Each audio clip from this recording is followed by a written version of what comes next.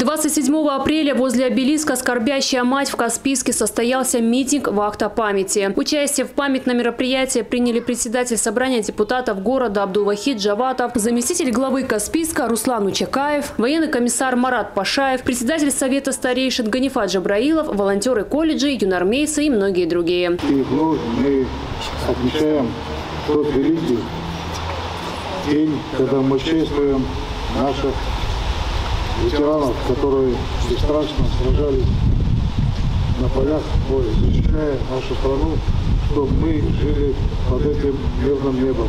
Война была самая продолжительная в мире, самая кровопролитная, которую мы потеряли в целом по стране около 20, более 20 миллионов человек. Сегодня у нас.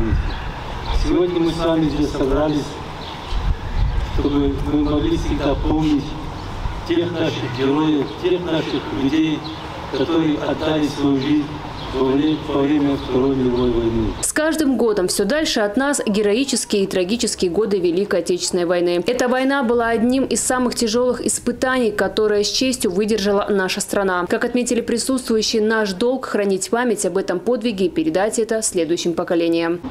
Памяти павших будьте достойны, вечно достойны, хлебом и песней, мечтой и стихами, жизнью просторной, каждой секундой, каждым дыханием.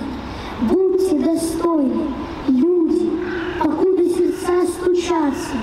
Помните, какую ценой завоевано счастье. Завершилось мероприятие возложением цветов под музыкальное сопровождение оркестра краснознаменной Каспийской флотилии.